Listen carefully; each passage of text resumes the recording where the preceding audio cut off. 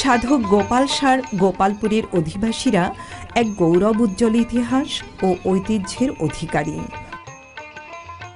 উনিশশো আঠাশ সালে থানা এবং উনিশশো তিরাশি সালে গোপালপুর উপজেলার মর্যাদা লাভ করে।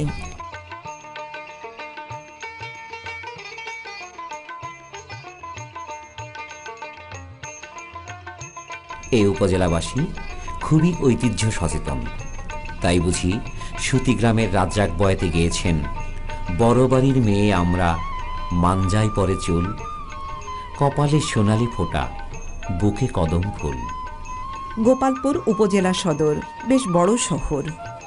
পঁয়ত্রিশটি মহল্লা নিয়ে গঠিত এই পৌরসভার আয়তন ও পরিচ্ছন্নতা দেখার মতো। ঐতিহ্যের মানদণ্ডে গোপালপুর বেশ সমৃদ্ধ।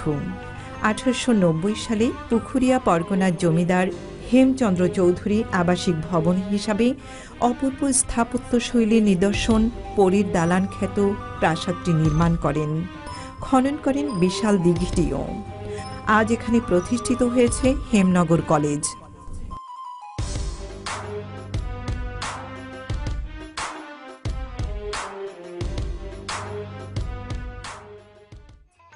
টাঙ্গাইল জেলা পরিষদ, গোপালপুর উপজেলার বেশ কিছু উন্নয়ন প্রকল্প হাতে নিয়েছে।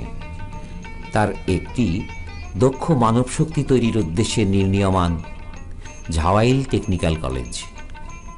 একটি দেশ যখন উন্নয়নের পথে এগিয়ে যায়, তার ছাপ পড়ে আনাচে কানাচে সর্বত্র।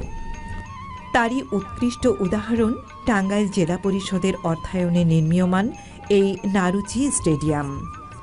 অদূর ভবিষ্যতে এখান থেকে হয়তো অনেক বরেণ্য ক্রীড়াবিদ তৈরি হবে আর শিশু পার্ক গড়ে তুলবে সবল ভবিষ্যৎ নাগরিক। শহীদ মিনার প্রেরণা যোগাবে দেশপ্রেমিক হওয়ার।